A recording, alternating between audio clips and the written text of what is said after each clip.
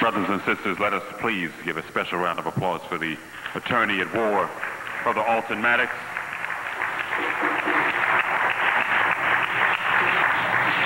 I want to take the time to bring down a very special brother who takes time to give us the time.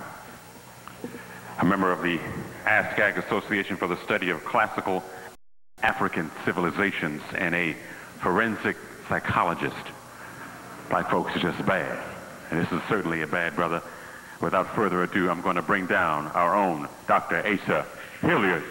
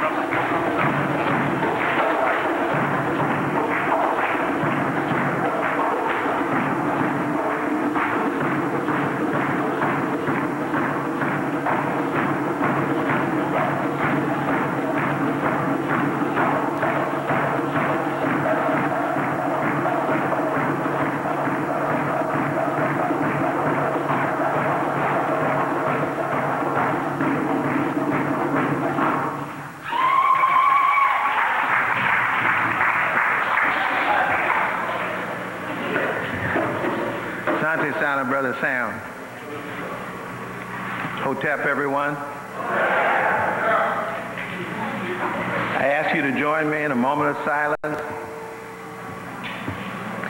while we acknowledge our Creator who, though hidden, is the source of all life, power, all health. And while we do that, we acknowledge as we always must, our ancestors, the old ones, the recent ones, those that are in the close family, those that are in the family that stretches around the globe, those that are great and those that some call small. Because if we remember their memories, call their names, invite their presence, they will always join us bless our efforts. Nothing that we do can be wrong. But if we forget them, nothing that we do can be right. Ashe? Dr. Ben, our great elder, our true treasure, to Sister Keffer and Brother Bill, too, because I know there are two families United African Movement, the First World, and several others. I know there are study groups all across New York and the surrounding areas, and it's always good to have family gather together to think about serious topics. And there is no topic more serious than the one that I have to address this evening. I was asked to talk about the education that our children deserve and the fact that it begins with us. Uh, you have to know that I'm first and foremost a teacher. I was trained as a psychologist, and I learned my history the hard way. But what I really am is a teacher, and I never forget that. And I never forget what it means to be an African teacher. That's different than what it means just simply to be certified and get a job in a public school system in America. What it means to be an African teacher is something that there is no certification agency to give you. It begins with African parents who are the first teachers of their children and who almost instinctively know exactly what to do. They know what to do to feed them. They know what to do to clothe them. They know what to do to nurture them. And it's on the record. It's on everybody's record, sometimes everybody's but ours. How good we are at this task, how long we have been good at it. It's well documented in videos and books. They've gone all over the African world to study how African people raise their children. They've been to Uganda, they've been to South Africa, they've been to West Africa, and then they followed those Africans into America to find out whether the Americans remember how to raise their children and how to get the results that the Africans were getting when they raised their children. And on more than one occasion, I've talked about that uh, here in New York. I've talked about the children in particular in the study that was done back in the 50s in Uganda. And I've talked about those children because they have according to the Western test, the highest intellectual and physical scores ever seen. And right here at Columbia University, they study those babies and those mothers and those communities to find out why is it that even when sick, these babies outperform the norms of babies all over the world, all European babies, by weeks and months in both physical and intellectual tasks. And then they begin to copy and imitate those babies. I've talked about that here in New York on many occasions. Um, and they're still studying our babies. As recently as about 10 years ago, they did a film in the Cameroons, and they studied the people called Baka people, who they call pygmies. And they followed this family for six months and the oil company made an ad out of the content of the study and asked the question in their ad, is it possible that people who have never been to school could teach us something about teaching and learning? And of course, they asked the question rhetorically because they already had their answer that the people who they were talking about, these small people in Cameroon, who took their babies, mother and dad, sisters and brothers, aunts and aunts and uncles, grandparents, those were the teachers, that when they assessed those children to find out what they knew, that all of the children had what they call an average achievement that you would expect to find in a very high level college or university. Had equivalent of a bachelor's degree. In terms of the level of sophistication of what they knew about their environment, about the medicinal use of plants, about the food uses of plants, about the clothing uses of plants, about the names of all the plants in the whole environment, all the trees, all the flowers, and their functions the names of all the animals and their function, the classification of plants, classification of animals, the connections between plants, animals, human being, and the spiritual world. That's awesome knowledge that every child has to have. no, no tracking, and no special education. That all children go in, all children come out, all must know all. The life of the people depends on educational excellence as an outcome. That's what we brought with us here. We brought primary education. We brought higher education. Just the other day, I was talking to Dr. Maega, who worked over here at uh, Medgar Evers College, and his wife works now as vice president of Spelman, but turns out Dr. Maega is the great, great, great, great, great. That's about 13 grandparents back his grandfather was the king of Songhay. That's in 1493, one year after Columbus sailed the ocean blue. And he has persisted as a scholar in that family. That's the tradition in Timbuktu, Songhay, uh, in uh, Gao, in uh, uh, Jenne, those university towns there. That scholarship has persisted generation after generation all the way up to and including today. He's not the only one that can that has 14 years, 14 generations of pedigree as a university professor in West Africa. They're not the only ones. And Mali is not the only place where that happens. It happened in Nigeria too. The Sokoto Empire, for example, was one of the higher education uh, demo sites for excellence in higher education. And of course, all of this rolls over from the Nile Valley, and you know that story of the Ethiopian Jegnas. And you know the story of Nubia. And you know the story of Kemet and the great universities in those places. And the level of technology, the level of science, the level of theology, the level of philosophy, the level of literature. All of these, by the way, were literate cultures. So those who brag because they think we don't have a literate culture and call us an oral people only understand half of the picture because we're both literate and oral and we're masters at both. And so we're very special people and if we raise this question we raise it in a different way than other people raise this question. You know, what is the education that our children need? We raise the question different than Europeans would raise it because they came to this country and started a country in America, North America, United States. In 1776, if it's when it started, didn't have a public school system didn't prepare, didn't think that they had a mission to educate their young.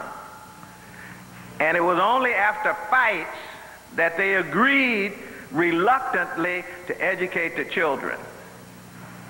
It was only after organized labor in Massachusetts demanded that their children get an education and only after Africans were out of slavery and into the legislature that legislators started an education system funded at public expense for every, every child. Africans started the public school system in the South. In Georgia, the name of the man who wrote the bill that became law, making public education a free thing, was named James Porter, an African, personal friend of uh, Bishop Henry McNeil Turner, who was also the founder of the Republican Party in Georgia and an AME bishop. Um, but Republican didn't mean the same thing then that it means now. But leadership meant the same thing then that it means now. And you had clear Africans who knew what their mission was and knew what it was that they had to do, and education was at the center of that. So when we raise this question, we raise it as a different group of people. There is a set of uh, a journal that's called the History of Childhood Quarterly. And if uh, I don't know if you can even find that journal anymore, but if you could find the first four issues of the History of Childhood Quarterly, it's the history of how Europeans thought about their children in Europe before they came here. It's the history of their relationship, parent to child. The history of the relationship, community to child. And you had this widespread poverty and the sense that people were worthless, and so most people didn't even want children. It's the history of letters from dads to their sons and sons to their dad. And they read these letters and they find no love in those letters. They're passing information back and forth, but not passing their spirits back and forth. It's the history of people who practice infanticide, killing their babies because they got in the way, breaking their arm, breaking their legs so that they would look pitiful, so that they could beg for more, and they could use their own children as a source of income. The history of people who hired nurses to come in and pretend to nurse their babies and then at night roll over on the babies of the mothers and smother the baby and then make it look like an accident. That's what the history of childhood court. That's not what Asa wrote. That's what DeMause, Lloyd DeMause, D-E-M-A-U-S-E. That's what he wrote, documenting how they felt about children. You can see a clash of culture, can't you? African people didn't have that sense about their babies. Their babies were sacred from the moment of conception until delivery and beyond. They were spiritual, divine essences which deserved a particular kind of nurture to take them to a place that we haven't even imagined as of late.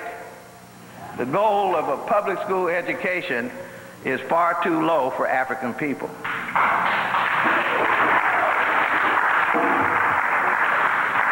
So we need some clarity in order to do this job.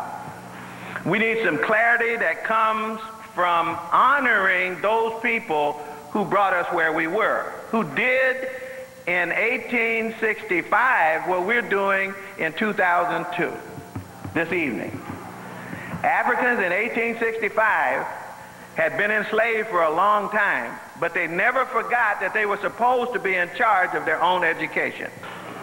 And at the moment that they were free, they set up schools and taxed themselves so that they could run their own school. They did not ask or wait for the Freedmen's Bureau to do anything for them. They wanted to rule this thing themselves, and they had a curriculum in mind. They knew what the curriculum had to be. And the curriculum had to be a heavy cultural education. There's a wonderful book called Web, by Webber called Deep Like the Rivers. Deep like the rivers. And that should apply to the education that we imagine, because it certainly applied to the socialization that we imagine. And in that book, Deep Like the Rivers, there is a curriculum for early childhood education. It's how these Africans in slavery, this is before 1865, organized schools under the noses of their masters and what they intended to teach. What was the aim? What was the purpose of education? We call them slaves. You can't call them slaves because you don't expect anything from slaves. They were enslaved, but who were they? Slavery was the condition but what was their identity? Their identity was African, and what did that mean about how they raised their babies? That's the question that has to be asked. And when we ask that question, if you read that list of things in Deep Like the Rivers, where they talked about what those mothers put together for the children four years old and five years old, it blows your mind. And one thing they were clear about before 1865 is they knew who their enemies were. They weren't confused about that. And they thought they were superior to their enemies. Think about that. They didn't have a low self-esteem. They thought that they were fully capable, fully competent. They understood that they were in what they thought was a temporary condition. It was only a matter of time when they could take charge and raise babies like the ones that they had raised that came over here on those ships in the first place. We need some clarity about this. Because when the discussion about objectives in education is being held, those discussions don't count on us as if we're people who can design anything, as if we're people who already had goals. The goals are being set for us. Unfortunately, for the masses of our people, we have kind of forgotten that part that we played in the beginning, what we were doing when we had it on our own. And what we did when we resisted. You know, the Freedmen's Bureau, if you read history, they will tell you they came in and they built schools for us. They built miseducation systems for us. They intended to close the independent schools down. Every time we've had an opportunity to have independent schools, the outside system tries to close the independent system down.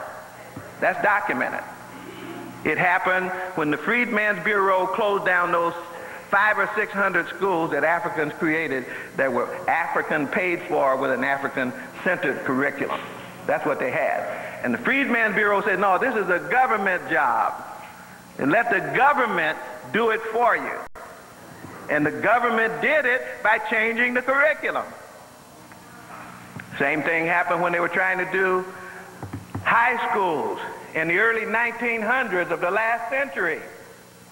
And they had Booker T. Washington asked his mentor, Samuel Chapman Armstrong at Hampton, to have a study of the independent African high school, the one where people were scratching by on their own, trying to teach their kids something. And they put Booker T up to it. Remember, Booker T was Samuel Chapman's student, and that's why he was making Hampton, which was supposed to be, I mean, uh, Tuskegee, which was supposed to be a copy of Hampton. And they saw him as their person who could get into the community and make requests for things. In other words, to invite a white person to come and evaluate the black high schools. And they did it, and they concluded that all those schools should be closed unless they, they could get a white board of trustees. So the record is clear. Every time we have an independent effort, the attempt is to close down the independent effort. I want you to keep that in mind as I go through the rest of the things that I want to talk about because Africans were clear at certain points in history. They were clear in the 1950s and 60s, they were very clear. At the time of 1954, when we had the school desegregation process, uh, there's a wonderful article that went in the Harvard Educational Review by Charles Hamilton called Race and Education, A Search for Legitimacy. And Hamilton began to wonder, as we should have wondered. We had some schools running. My dad was a principal of one of those schools. My grandfather was a principal of one of those schools, and I know what they wanted. I never heard my dad say that he wanted to break up the community and close the school. That's what happened with integration, though. they broke up the community and closed the school. The only thing my dad wanted was money. He said, they got our money over there on the other side of town. So we need the law changed so we can get our money so we can do better what we already know how to do. Nobody knows how to teach our kids better than we do. We never thought there was somebody else that could do that. That's what he told me. And so 1954, when the school desegregation process began, they surveyed, this is um, Charles Hamilton, he went around to all these principals like my father and others and asked them, what is it that you really want? And you'll be surprised to find out what they really wanted. There's nobody that wanted busing. Well, how did we get busing? Where did that come from? They wanted desegregation, but they didn't want integration. They wanted control of the curriculum, and they wanted an African-centered curriculum. That's in the record. Get, get the 1968 article in the Harvard Educational Review by Charles Hamilton where he surveyed, that's the name of the article, Race and Education, a Search for Legitimacy, because they said what we want is a legitimate education, not an integrated education. A legitimate education. In other words, Africans had looked beyond the question of test scores and raised questions about the nature and character of the education process itself. This is a serious business. That's when we were still clear we become confused. We become confused about a lot of things that have to be clarified. Most of the people are not, and our people are not as clear as those who came here. If you're here, you're clear. You walk through the door because you were clear, and you're trying to get it even more clarified. We know what we're up to in here, but this is not where the masses of our people are. I almost cried the other night. A mother from Miami, Fort Lauderdale, called me up and she said, You know, I heard you talk one time, and I just want my students to meet you. And so if there's some way when we're up there for this ball game, we're to we're to ask you to come by. And I said, well, sure, I'll be happy to. Get this now, this mother who has no degrees, getting ready to go back and get some though, has 80 children that she brought with four mothers, one certified teacher, and some neighborhood mothers who love, and most of the kids coming out of housing project, they love these kids. They wanted to show them Atlanta. They wanted to show them the big city and all of that. And so we had a chance to meet. If you could imagine, 80 kids in a suite. See, this a, suite's a big thing, but not for 80 kids. And I want to make the point about clarity because as this mother went around talking about the sacrifices that she had made, because she had been abandoned and abused and, and she'd been on crack, she'd been on a lot of things, but she clarified for herself what she had to do, and she now had a mission to save these children. She went through all of those things. The kids themselves were crying. And she said something about uh, the fact that she wanted to introduce me to a wonderful group of black children. And at that moment, several of the young people in the group said, no, no, no, not black, minority children. These are all African children in the room. But in their minds, they're not African and not black. They have bought a name that's a government issue, donated to them. They said, we want to be called minorities. And I, I, couldn't, I couldn't figure out what this was all about. Except the fever, the Tiger Woods fever is sinking in among some of our kids. They're searching for any roots other than African roots. That's what I'm saying. Some people are not clear. And you can never answer the question about the kind of education our kids need if they are confused and their parents are confused and the community is confused about who they are. If you're confused about your name, you're confused about who you are. And if you will allow yourself to be called a minority, you are doubly confused about who you are. At risk doubly confused about where you are, deprived. Uh, you know all the names. So there's some clarity that we need. The clarity seems to me to be around several points. First, we're not clear that we're an African people. And we're not clear that we're an African people, even though we say it here and you say it right there, don't you? United African Movement. Everybody can look at that sign and say, oh, I'm not one of them. They know not to even be bothered. But there are people who are not clear, who are African. And that has to be clarified. That we're African people on the, you know there's people on the continent that are becoming confused about whether they're Africans or not. They never left their, their villages and their towns and the propaganda that's been beamed into them says to them, you're just a multicultural, you're just a human being, you're nothing special.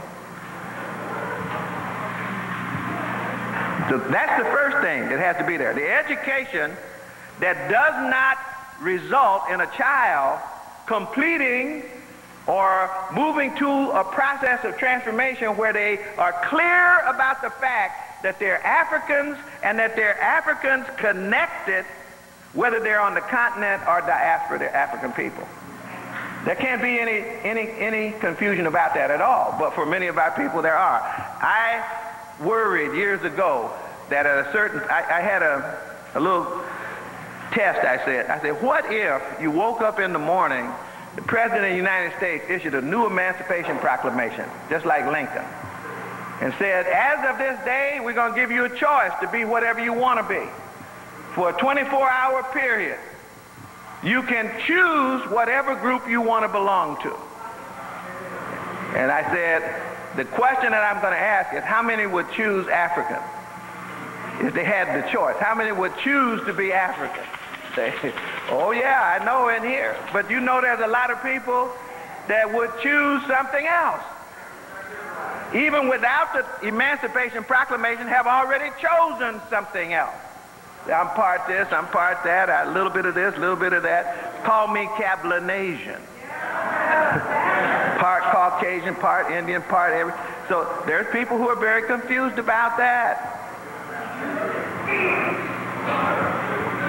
The government tries to help by changing the census categories because the government has decided that Brazil got it right, that they should have been asking us to be whitened and for the country to be whitened, just like Brazil made it public policy instead of segregation. That we would be weaker if we had been whitened, but segregation left us stronger than we would have been otherwise. Because if they had chosen to propagandize us and to make us think like they tried to make the Brazilians think that they were really parts of numerous races. They got about 25 races in Brazil.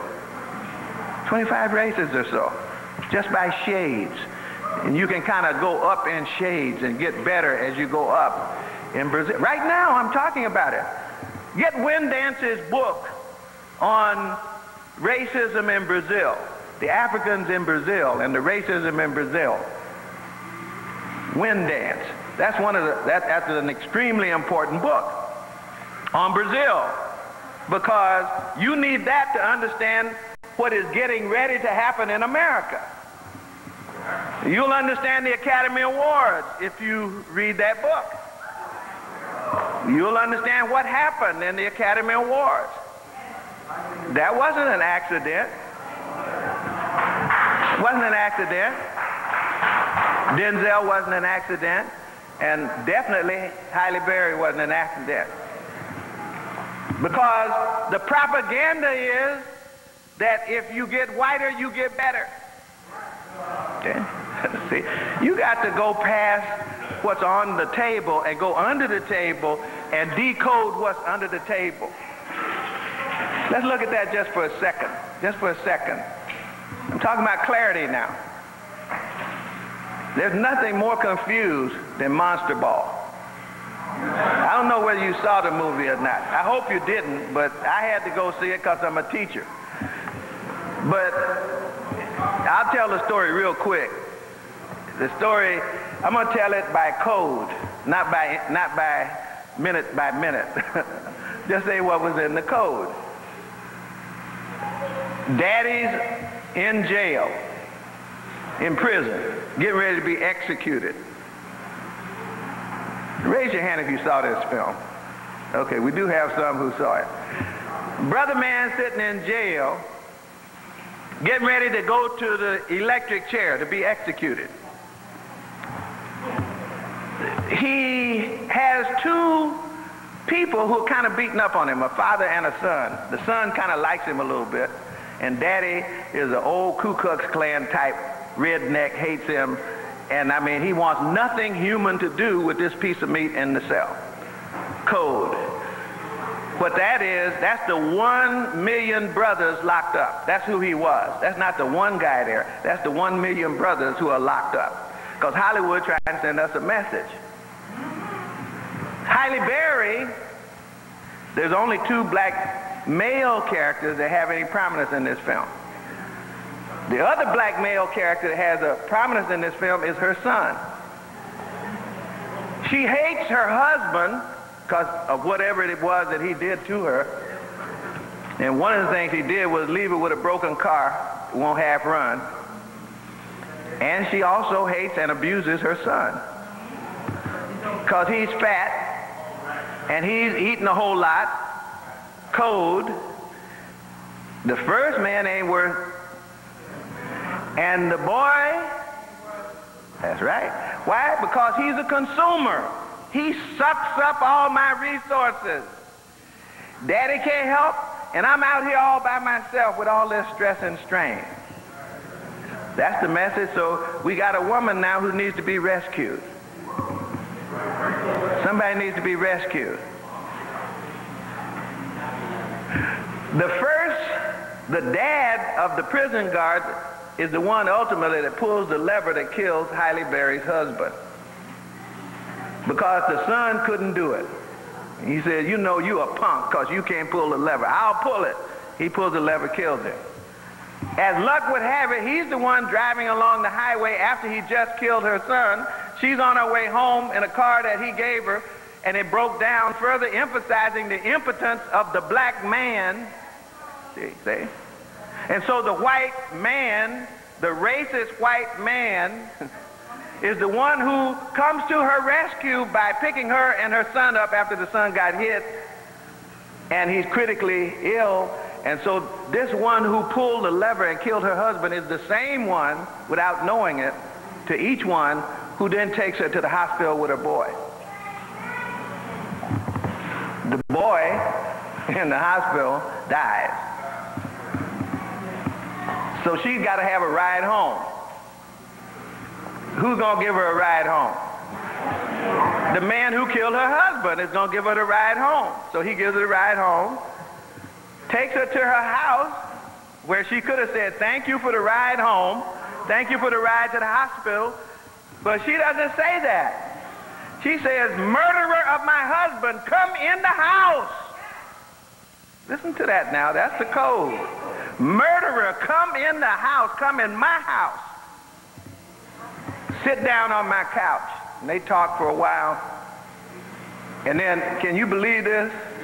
The white male doesn't know what to do. And they almost cry and sitting up, I don't know what to do. She said, oh, shoot, I'll tell you what to do. Give me your hand, rub it all over my breast. Make me feel good. Listen to this now. Husband can't make her feel good. Black man can't make her feel good. Black son can't make her feel good because all he can be is a consumer. Only the killer white male can make her feel good. And then he leans over and whispers in her ear, I will take care of you. Code. I'm the one that you have to come to if you intend to get out of the mess that you're in. He eventually finds out he's the one that pulled the switch, and guess what? She stayed with him, even after she knew. That's heavy duty code. Guess where that's going? All over the world. With the Academy Award symbol legitimizing it behind. And I understand the NAACP gave Halle Berry an Image Award for the role. You understand something about clarity? That's not clear. Something is wrong. Somebody failed to understand what the message was. And they're so happy. Well, we just, this is the first time in 40 years we got an award. We should be happy. I heard white talk show hosts talking about we should have a parade. Newspaper reporter called me. I said, yes, we should have an observance, a funeral. Because they got the award. But I'm just saying, what kind of education is it if you got a 1600 on the SAT? You graduated and you can't decode that film. The question is, what kind of education do our kids need? Now, is Halle Berry one of the greatest actresses you've ever seen? Oh, she is, but that's the problem. That's the problem. She's so good at the role, she's going to make the world believe that that's the solution to our problem. Look at Denzel. Denzel, to me, is one of the greatest actors ever. But what did they do to Denzel? Go back one year. Go back one year. Go back the year before training day. Four great movies, right? He had Hurricane. But there were four movies about black men in that year. Every last one of them had an innocent black man in prison. You had Bait, you had Jail, you had Green Mile, and you had Hurricane. In all one of every one of those, the man was in prison, and he was also innocent in prison. Two of them nominated for the Academy Award. There was no Toussaint there, no Steve Biko there, see, no Makandal there, no Shaka Zulu there. These are innocent black men in prison. They are the heroes of the film. One is a hero in Green Mile because he's sucking all the evil out of white people. In fact, that's why he's in jail in the first place. He found two little girls that were dying and he sucked all the death out of them. He said, let it not be in them, put it in me. Later on, he sucked all the death out of the white woman. See? See? See? It, nobody else got any problem with these codes but me. See? And then we come to, after four innocent black men in prison, we get the crooked cop. In the city where the crooked cops are not the black cops, they're the white cops. That's Los Angeles. They arrested half the police department out there in Los Angeles for illegal activity. But Dirty Cop goes around the world as an Academy Award symbol, carried by the weight of the Academy Award. The world sees us as those two roles now. That doesn't bother me. What bothers me is that the night I saw Monster Ball, the black audience stood up and gave it a standing ovation. They weren't mad. That's what bothered me. I said something happened to the socialization process, to the education process. It got out of hand. It got out of control. I don't believe that Hollywood could put on a movie where the actress would be in a concentration camp asking the Nazi guard to make her feel good and win an Academy Award off of that role. I don't believe that that would happen. But it happened to us, and we haven't had the outrage that we're supposed to have. I'm just talking about clarification. We have to have clarity that the fact that we're African people, that we're physically African, that's obvious. But what is not obvious to most of our people is that we're culturally African. And that's the part that ties us together. The cultural bond is what ties us together. We haven't been clear about that because the propagandists since 1750 have sent messages that said you are your physical type. That's all you are. You are your color. You are your hair texture. You are your head shape, your behind side. That's who you are. And that's what you have to talk about, think about all the time. Oh, that's true. We are all of that. And most of that's pretty good. In fact, we always were very happy about that. We never had any problem with that. But what they don't want you to think about is Timbuktu. They don't want you to think about Kemet. They don't want you to think about uh, Nubia. They don't want you to think about Ethiopia or Kush, as we should call it. If you start thinking about those things, you'll think about yourself in magnificent terms. You'll say, How did I fall so low? I'm talking to people right now who say, Well, we may have to do some sacrifices, but at least we'll be better off than we used to be. Instead of saying, How do we fall so low? Our people are educated to believe we would never hide.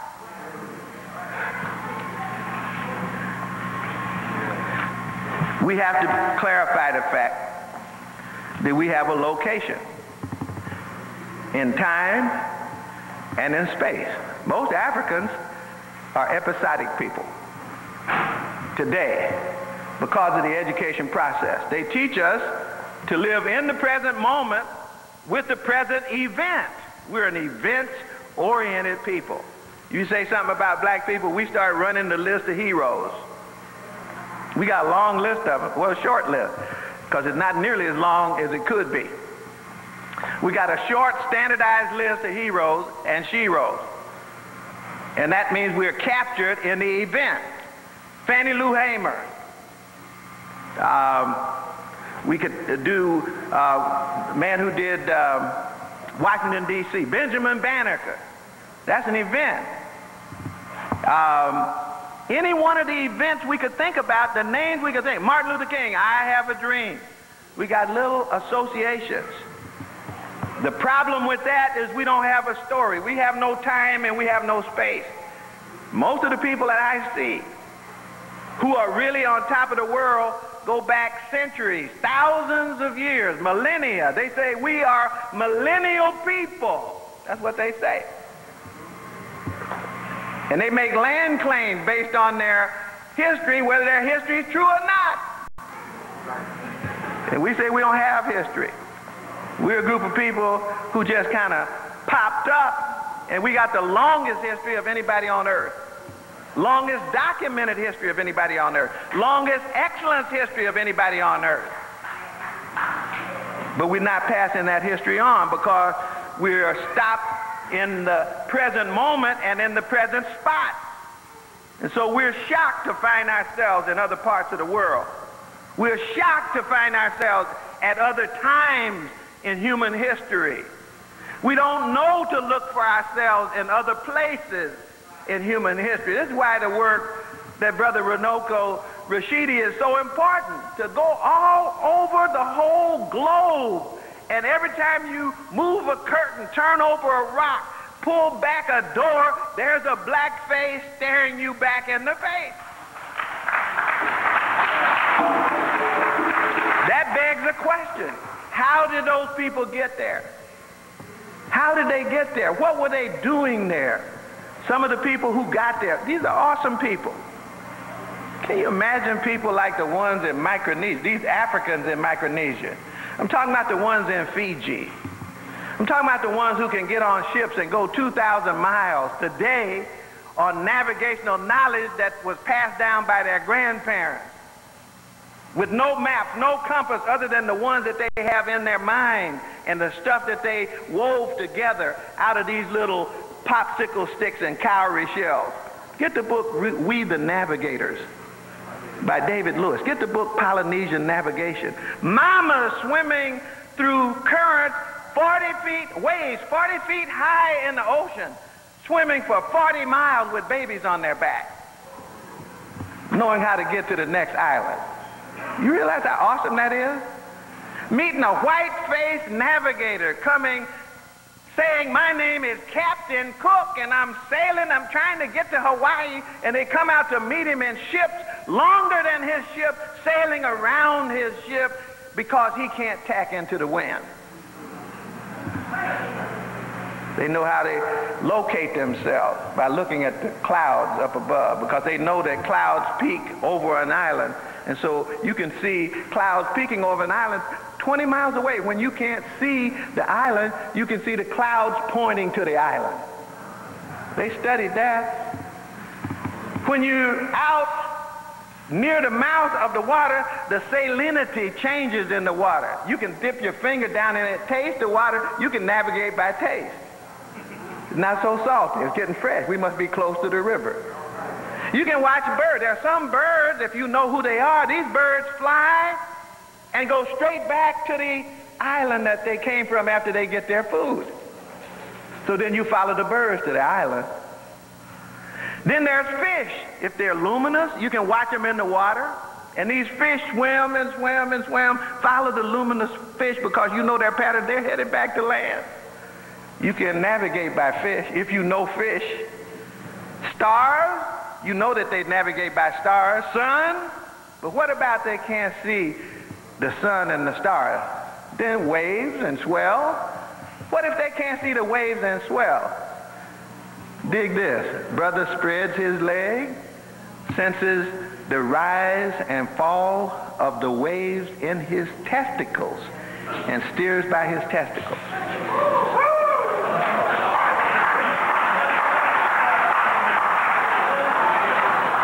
Can you see why nobody looks at Captain Cook with awe. he can't sail. He don't know where he is. Brothers got to tell. I'm talking about Africans who produce excellence everywhere they went, supremely confident, and it bugs me to death that they lost that confidence and believe that somebody's got to help them. I want clarity. On time. I want clarity that we are a people of time. That means we are ancient people, deep like the rivers. I want clarity on space, that we are everywhere in the world. And we were there first. I want all of those things clear. And then I want clarity on what kind of value system we had and spread all over the world. The Ma'atian system that Africans spread. I want clarity on that. I can't hand this over to, what's your superintendent's name here in New York? Ain't y'all worried? Ain't most of the kids in New York City school system black? Don't y'all have a white banker as your superintendent? Oh, oh I thought so. Don't the people over there in Philadelphia have a white male governor, politician, who was not trained as an educator, as the de facto superintendent of schools for Philadelphia. Am I not right? And he's trying to turn it over to a business, the Edison Project that you just kicked out of New York. Yeah, well, anybody from San Diego? Don't they have a white male federal prosecutor that's the superintendent of schools in San Diego? Um, in Detroit, that's a bad one. See, they always getting into the heart. I mean, the city I'm talking about now, Detroit, New York, that's heavy duty, conscious Africans. And you're going to turn your babies over to aliens to educate them and lead your system. Isn't Los Angeles being led by a former governor of Colorado? Isn't he superintendent of schools? Uh, isn't the former governor of California, Jerry Brown, the de facto superintendent of schools in Oakland, California? Do you see a pattern, or am I the only one that sees it? Do you know who was superintendent of those school systems in 1980, 1985? Who was the superintendents of school? Do you know what they did when they were superintendents of school? These Africans who were superintendents in those schools in Chicago, the mayor Daley, he became the de facto superintendent of schools in Chicago. Do you know what before these people became the superintendents of school? You know what they did? They had a school called, uh, a council called the Council of Great City Schools, where all these black superintendents got together, called the publishers in and said, we ain't buying no books unless you take that mess out about Africa that you got in your books and put the right stuff in. Shortly after that meeting, I was at that meeting when the publishers came, some of them crying, because they had to, look, you realize what you're talking, what the publisher has to do is satisfy you in New York and then try to go out to New Mexico and sell the books that you like. That's not going to happen. Shortly after that, we found that they got a formula for taking care of public education in America, hatched in the Heritage Foundation sponsored by the Bradley Foundation. That's when you start getting vouchers and charters. That's when you got privatization and you got corporatization and, and uh, uh, money-making people coming in, running the school, raising the baby. Y'all, anybody see the film Robinson Crusoe? It has some, some a couple of scenes in there I couldn't deal with, but at the end of the film, after being abused all film long, Friday gets to take Robinson Crusoe to his island where the black people run it. Robinson Crusoe don't have a job now because he was the master on this other island. So Robinson Crusoe come to Friday's island in his family, in his living room, and he begs, can you, you get the arrogance of this? Begs the elders. He said, look, I, I, there must be something I can do here. What can you do? I can teach the little children. Now, Friday been a pacifist all movie long. The minute that man said, I'm going to take your babies and teach them, Friday went off. He said, not the children. Any job in town, not the baby. Don't give the babies over to this. You know what it was.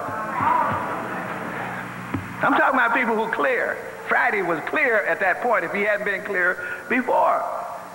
But I'm not talking about Robinson Crusoe. I'm talking about public education right now.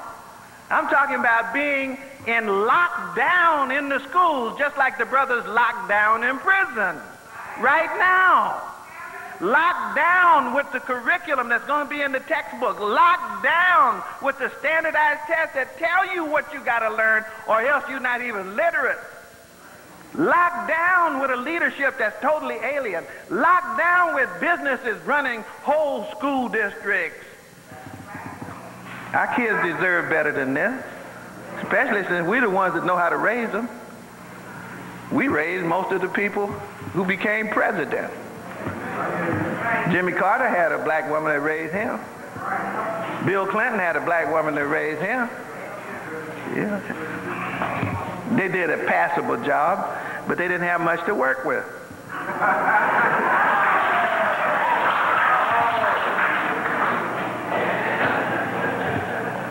I want clarity about something else. We are defined by what we have made together. We are defined by what we have made together. We're not defined by our physical type. That's the beginning, but not the end.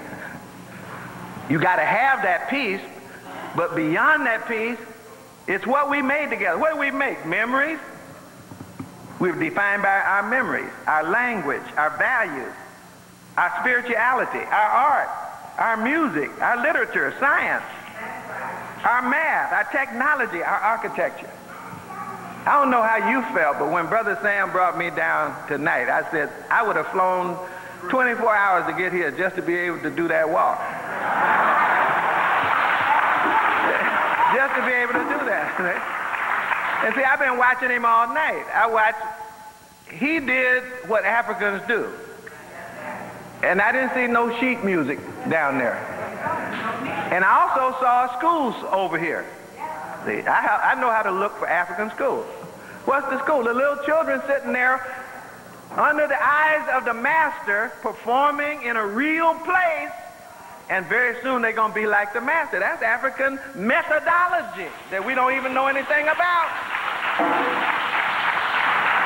And see, Africans, Africans got to know whether they're right or not.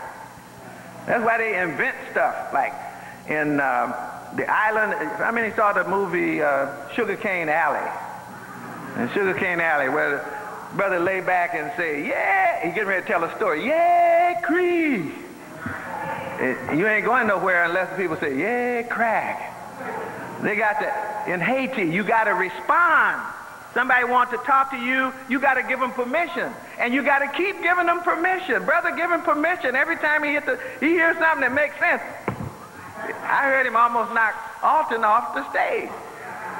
It felt, I mean, it's strong. He said, that's a strong point. Of course, that's a weak one, but this is a strong one. Boom. That's African. This is serious.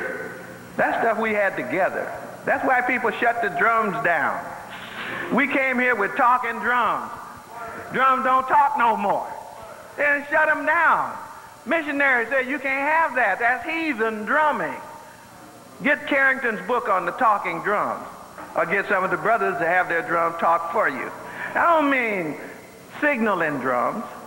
That's different than talking drums. Talking drums mean drums make sounds like your mouth. And you can pass the message from one drummer to the next drummer, and that drummer, and you can send messages 50, 100, 200 miles in a few minutes' time just by having the drums take the message. And you, you can't you imagine British soldiers standing around in the wood and all this noise going on around them, and they don't know that messages are being sent. All of a sudden, somebody shows up and wipes them out. And after about a hundred years, they figured it out. So they say you can't do that. That's heathen. Because you can, you got, look at this. How many different ways we got to communicate. Remember I told you oral, written. Now here's the, here's the drum. There's the dance. We, we are, our linguistic system knows no bounds. You see, there are people who want to reduce everything to typewriter letters on a paper and call that literate. That's ignorance. Come to and then you call them illiterate.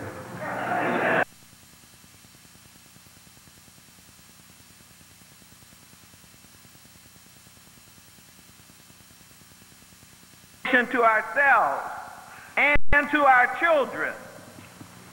This is what we have as African people. That's what, look, see, I can't even utter this sentence if we don't agree that we are one. If we don't agree that we're family. I can't even make this next sentence come out of my mouth right.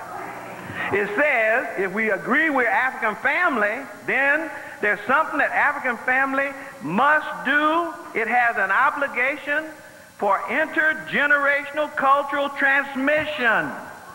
That's the family's responsibility. You cannot give that to anybody. That means there's some stuff that you can't give to public school. You can't give it unless you have a structure to deliver it. Listen to me now. We got millions of African children running around with no family telling them what to do and no way to call them to a place where, look at what we did. When we were at home at the right time, we got all the boys in one place, all the girls in one place, and then we went over, we say, we taking you now to a special place, to a sacred place, because there's a major aspect of learning that's getting ready to take place. You got to be seriously involved. We want to punctuate this moment for you so that this is not frivolous. This is not trivial. We got the baddest people in the community, the old folk, the elders are going to teach you the most valuable lesson of your life. Are we saying that to all the children in the African community now? No, we've abandoned them and we expect other people to say that to them. There was a brother who wrote a book called The Choice out of D.C. Yeah, Sam Yette. Sam Yette tells a story. True story. He was in China. And he got to China. He had heard that there was this one great philosopher in China named Mr. Wu. And Mr. Wu wouldn't see white people at all. In fact, he didn't see strange people at all. He didn't waste his time with anybody that wasn't worthy. and so somehow or other, Sam Yette, probably because he was African, they saw a kinship. They said, you can, uh, Mr. Wu said he's going to see you. Yette was just shocked, completely shocked. So he went to do this interview with Mr. Wu. And Mr. Wu said, I'm going to do this interview with you, Mr. Yette, but what I have to know before we do the interview, there's some things that's been really on my mind, and I can't figure this out. He said, now, you know that, that film series Good Times? Said, yeah, we get that here. He said, yeah, I know, I know. He said, but that character, JJ, that really is not a black man, is it? He said, that is a white man that's got burnt cork, because we know they used to do minstrels, and so those are really, all the people on that show, those are white people dressed up to look like black people so that they can play those ridiculous roles. Isn't that right? And, and Sam said, well, no, Mr. Wu, uh, those really are black people. He said, no, no, you don't get it. You don't get it. He said, I don't mean I know that they look like black people, but I've seen a lot of this where black people are made to look foolish, and I know those actors can't be black. He said, Mr. Wu, I'm sorry to tell you, but they are black, and we don't like it either, but they are black. He said, Mr. Wu sat back up in his chair, took a deep breath, let it out, and leaned back in his chair and gave the signal, interview is concluded. And then he had this word to say at the end.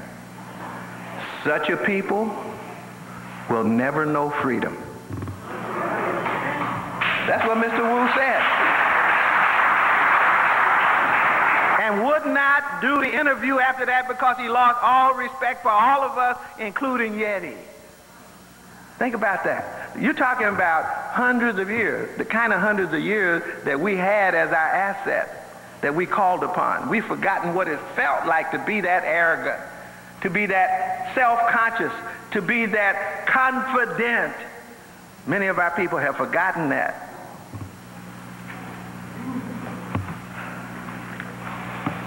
If we were talking about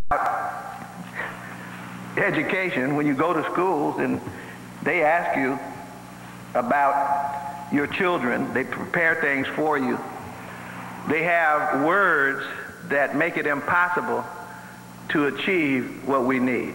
They have language that makes it impossible to achieve what we need. I'm going to give you some of the language. And if you're a teacher in here, you know what I'm talking about. There's a man in Chicago that gave us language for the goals of education back in the 60s, 50s actually. His name was Blooms. He wrote a book with Krathwohl called Taxonomy of Educational Objectives. Prior to, he said, I'm going to do this because educators are too foolish, too simple in the way they talk about teaching. They're not scientific, they're not systematic, they're not philosophical, they're not theoretical. So I'm going to give them language so they can have theory. So you divide your work up into three places cognitive domain, affective domain, psychomotor domain. All educations since the 50s in America have been in one of those three places. That's what they offer. Any curriculum guide. He gave them language. Psychomotor domain, that's movement feeling, and the use of the mind. You already have left out over a fourth of an African curriculum because they got another domain. There's a spiritual domain. it's serious now. How, how you going to get what our kids need when people don't even have the language to describe what it was that we offer?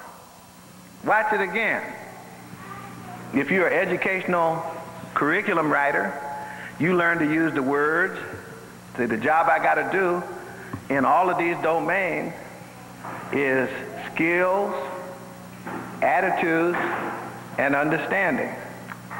That's, so my, my division of work is to produce high-level skills, to produce the right attitude and the right understanding. That's a serious problem for African people because there are some other categories that are supposed to be in there.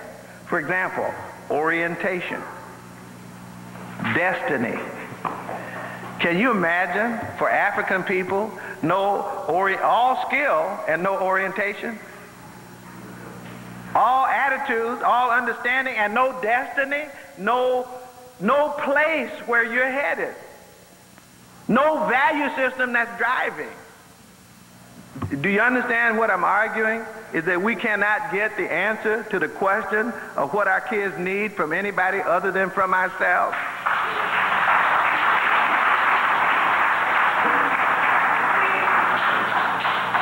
The problem that we have is there's a threat of abandonment by our community of our children because we have challenges. Every time you turn around, Somebody who hasn't been talking to the family for a long time seriously will be easily misled when they walk into a school or they talk to a reporter or they look at something on the news. They got a whole bunch of African people convinced that vouchers are the answer to our problem. Oh, I wish they would give a real voucher. You know what a real voucher is? How much does it cost to go to an expensive private high school? Isn't it about $18,000 a year? Well, if they gave all the African kids $18,000 a year, that's a voucher. then we could go buy some school. But they're talking about giving us $2,500 a year when the only school that you want to buy costs $18,000 a year, and they want me to grin and skin because they gave me the $2,500 poot butt voucher we get tricked all over the place. And they've got Polly Williams out of Milwaukee. She was a representative. Do you know she was up there arguing for the Bradley Foundation that put that voucher mess out? You know the Bradley Foundation, the people that put out the bell curve? And they come to black people and say, we for you, so we gave you the bell curve, now we want to give you some vouchers. And Polly bought it until they finally used her up. And now she says, you used me up and abused me, and now you threw me away. That's what Polly is saying now. But they found, there's, you can always find another Negro. So they found another one. They found Fuller, who used to be superintendent of schools in Milwaukee, African oriented from the top of his head to the bottom of his feet. Now he works for the Bradley Foundation, the Heritage Foundation, and the Edison Project, selling poison to black people. And he got a wife doing the same thing, Deborah McGriff, used to be superintendent of the schools in Detroit, Michigan, selling the same mess. Cultural literacy. I'm talking about the challenges that we face. You get a man over here at the University of Virginia, and he and his friends sat down at the University of Virginia and made up the curriculum that everybody in the world has to take, or else you cannot be considered culturally literate. His name E.D. Hirsch. He works for the same people and the same foundation. Y'all got to get these foundations. Y'all all got these foundations together. Get this issue of rethinking schools. They talk about them a lot. Get Dave Berliner's book, Manufactured Crisis. He tells you names, dates, and places of people who are the enemy. Get the old Emerge magazine when uh, they had Mayor Campbell on the front cover and they got the diagram of all these foundations that are enemies of African people all lined up in there. You need to know who they are. And they've already laid all of that stuff out for us because they're coming at us with all this poison. These are the challenges that we face because many of our people see that as immediate relief. That's an aspirin. And they buy into that stuff. They affirm that stuff. They vote to bring the Edison Project in. They vote to bring Success for All in. Neither project, Success for All and Edison, both say, all we're going to promise you is that you're going to be better than those poor people that live next door to you. We will never promise you that you will always be average, and certainly we will never promise you that you will be excellent. We're going to promise you what's good enough for you, black people, that you're a little bit better than the people who live next door, 5% to be exact. And there are people who will take that and vote for it because they're going to give them a computer. The teachers get a chance to buy stock in the company which has lost money in the company almost every year. I'm talking about the challenges that we face because we're not on the points that I've been talking about. High stakes testing, tracking, special education. Let me tell you something before I get to this last point. 20 years ago, 1982, I was on a report, co-author of one of the reports for the National Academy of Science panel. Office of Civil Rights saw so many black boys in classes for the mentally retarded. They said, how come there's only this many black boys in school, but there's this many in the retarded classes? See? So they said, we need a scientific study on this. Did a scientific study on it. Found some things that were wrong with special education, wrong with testing. That report went out. Nobody read it for 20 years. Last month, 20 years later, the Council for Exceptional Children asked for another report. Now I'm going to tell you what happened. This other report is a bombshell, especially if anybody in special education. This report says throw IQ away. It's worthless. Wait a minute now. You had 80 years of IQ and now you agree with Asa and Bob Williams and Bob Green and Tom Hilliard and all. We've been saying for 50 of those 80 years, plus Horace Mann Bond has been saying for almost all of those years, IQ is a fraud. Now the Academy of Science says it. Go to the National Academy Press website Download the report. You can get it called Special Education and Gifted Education and Disproportion. That's the name of the report. Get it because that's not all. Some of you know about learning disability. There are five and a half million kids in America that have, quote, learning disability. Learning disability means that you have high IQ and low achievement. You know the history of that? You know there was no special education to mount to anything before 1954?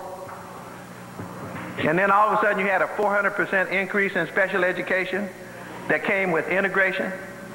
In other words, you could move kids out of a segregated school and then resegregate them in an integrated school by putting them in special ed and putting them in a low track.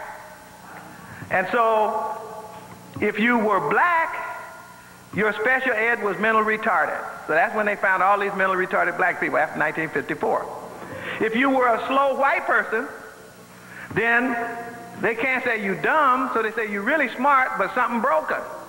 So we're going to call that learning disability. And that keeps them separated. And then, of course, if you're rich and white, you gifted. I'm, look, I'm not making this up. Read the report and you'll see that what I just said is now fundamentally acknowledged.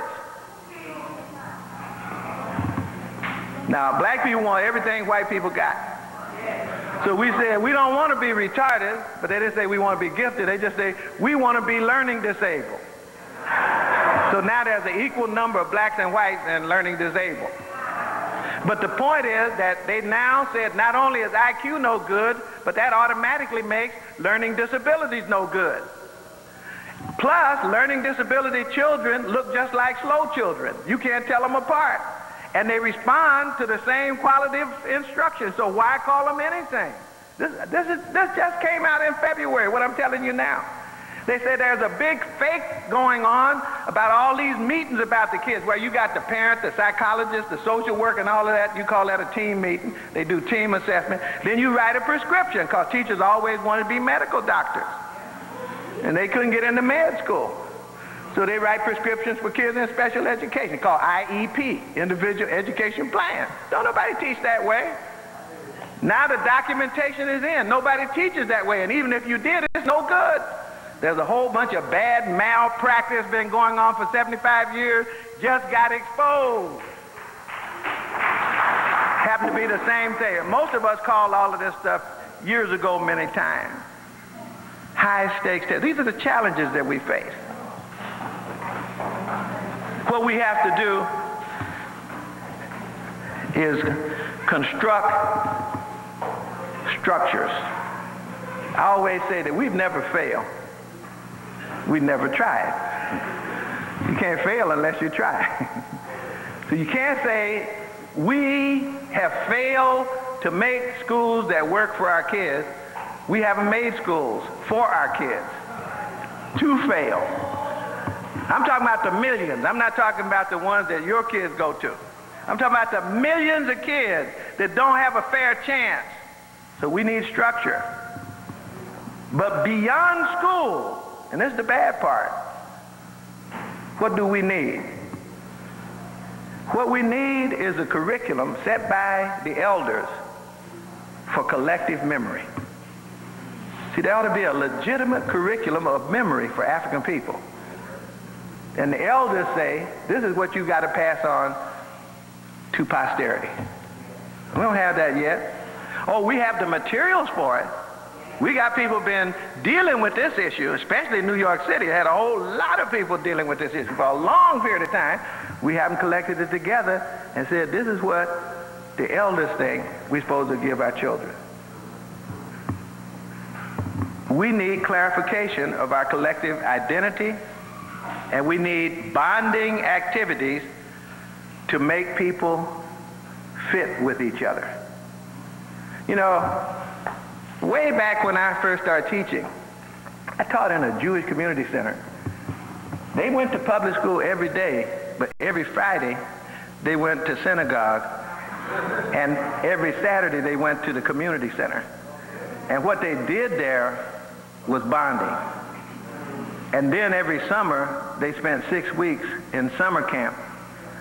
And what that was for was bonding. All that, all that was history and culture. See? because they knew that unless they tied people together with that bond, there would be no collective movement.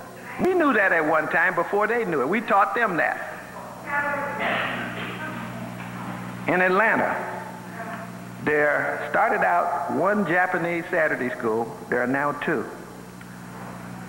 Japanese people fly their kids in from Jacksonville, Florida. They fly them in from all, just so they can be there on the weekend to be Japanese, to learn how to be Japanese. They don't assume you are born knowing how to be Japanese. You have to raise Japanese people. There's a structure to make sure that every Japanese child gets exposed to a Japanese curriculum. To choose a culture, not just a color. We have to choose the way of life that we want to be. How we want to dress. We still have choice. People would make you think in America you don't have no choice. That you have to do it the way everybody else does it. Actually, everybody wants to do it the way we do it. Get Black Enterprise this month. Look at the hip hop culture and the billions that it's generating worldwide. And look at some of the brothers are even picking up a coin or two here or there, but they're not getting anywhere close to those billions because they got this culture. And the only place you can get this orientation is out of the hip hop culture. There's not another culture on the earth that can get the world's attention. It all started right here in New York, out there in LA, places like that. And it started from the people who didn't have the PhDs, hadn't even been to school yet. They were free. They knew that they had genius and they can talk up a storm. They just don't know in all cases that they are Jaylays and Seshes and Musso, that they are Jegnas. They don't know that they are the great people of all time. Now, see, I used to take kids in class and I'd beat them up for doing that, letting their phones ring, and that's my phone, letting their phones ring in class. But they don't, they don't know who they are. They don't know the power of the Word. They don't know the value system that they can send out. They don't know the people that they can rescue with a word. We were just talking about it. Tupac say, my Nike, my Nike. Nike sales went up 15% just because he said it. That's what Al, uh, Maddox was talking about. Somebody said, P. Diddy said something, sales went up, and he hadn't even had the contract. That's what, get, get Black Enterprise this month, because they're going to have four issues on this phenomenon. If anybody else understood what we had, they're describing awesome power. That's what they're describing. And they're our babies. And many of us can't even talk to them. They are, but we don't know how to talk to them. And many of them don't even trust us. But they got a vehicle and they can send messages around the world. If they can send it around the world, they can send it to African people. If they can send it to African people, they can send the right message to African people, but they have to know the message. Elders got to tell them. We're not talking. We're doing something else. We got to build wealth. We got to build wealth. That's one thing we seem to be doing. There's a young man on TV and radio in Atlanta, and I'm from the people calling in. It's the first time in my life that I've heard black people talking about how to build wealth, all the tricks of the trade for building wealth, and to do it in a collective fashion. We got to build health. we got to take charge of health. Y'all, everybody, anybody read Fast Food Nation? Anybody read that book? I ate my last hamburger. I ate my last hamburger. Now I don't know about the pork. Now I'm, yeah, I might have to take another six months to de-pork. no, but Get fast, get fast food nation. How cows get raised. How they have broken the food chain with the meat they're selling. Not the old cows, not the free range cows, but when you feed cows cows. When you feed cows corn. You know, cows are not supposed to have corn. You're not supposed to have corn fed beef. Cows eat something else. But you can fix it by grinding that stuff up, mixing it with some cow, dead cow brains and other things that have protein. And, and you can mix the corn and you can put chicken feathers and there's even a certain amount of crap you can put in it legally and still call it feed and feed it to the cow, and the cow get fatter than any cow you ever seen.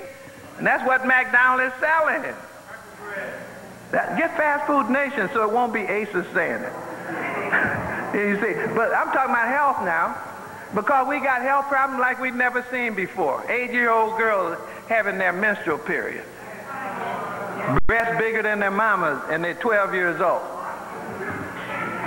They feed hormones to cows. See, that's, and to chickens too. That's not just cows. I just happen to be picking on cows. But somebody got to talk about health to our children. Actually, what's happening in my family, my daughters are the ones talk about health to me. Somebody broke the food chain in our family before I got I got too old to learn, and then my daughter pulled me up short and told me, Daddy, my teacher said you're gonna die. Because look at you. You sitting up eating this, you're eating that, and eating the other. So she's she's the one that's got all the vegetarians in the family down there in Florida.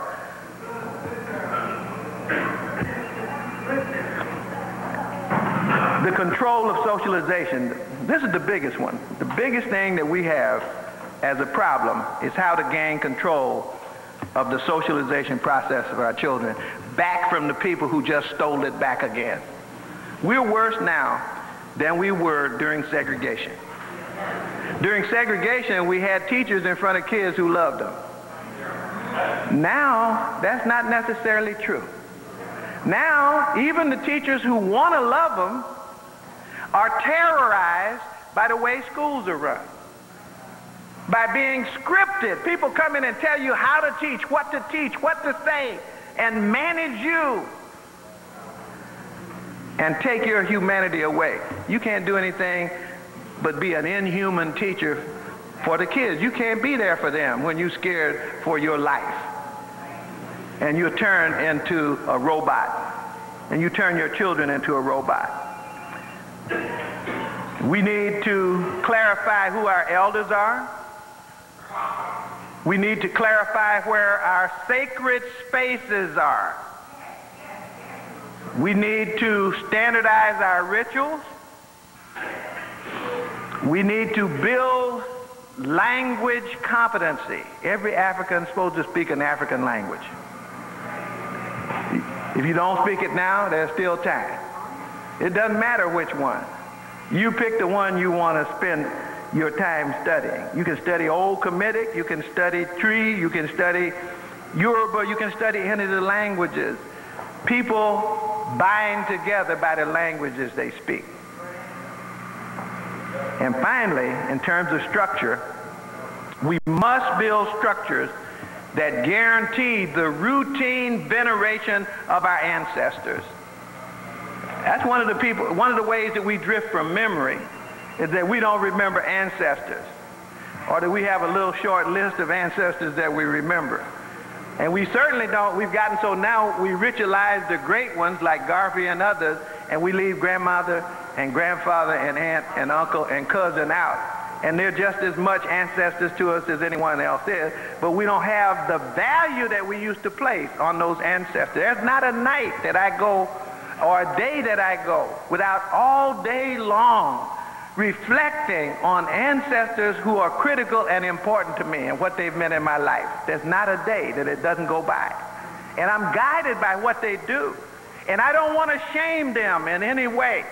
I don't want them holding me accountable at the judgment day and say, man, you had your chance with all we gave you and you didn't do what you were supposed to do. But I want their faces in front of me all the time.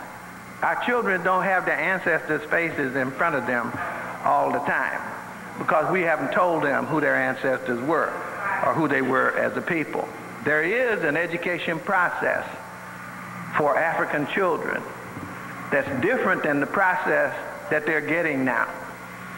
That's different than the process they'll ever be able to get in a process led by alien people. The education process that our children need is nothing more than the one they used to have without a discussion about it, where mom, dad, aunt, uncle, elders made a total commitment to transmit the values and memories of our people to our children. After that, you can study your calculus, you can study your physics and your chemistry, and maybe even while you're doing that. But never forget the intergenerational cultural transmission process. Listervelt Middleton used to say, sharpen your eye, tune your ear, so you'll know what you see, understand what you hear. Thank you.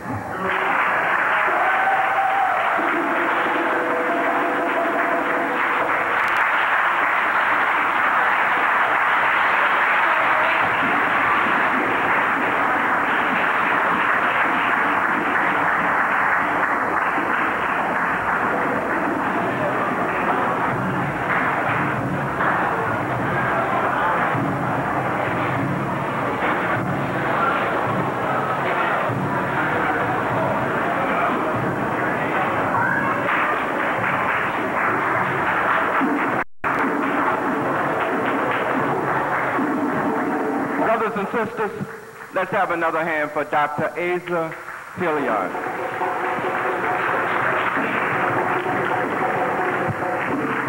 Well, everybody? Thank you. Will everybody please hold hands? We want to leave together. After the message, the spiritual message from our brother, our elder, our teacher this afternoon, I just want to say in closing that we have been blessed beyond imagination tonight. We have really been fed with the spiritual essence of a future in terms of our education, in terms of the way we feel about our children, one another. It's, it's just marvelous. Brother Asa, thank you, man. Really thank you. We are an African people, stolen from our homeland, robbed of our culture, our legacy, our oneness, our peoplehood. But we shall rise, never again to fall. Up, you mighty people. Up, you mighty people. Up, you mighty people. No justice, no peace. Good night.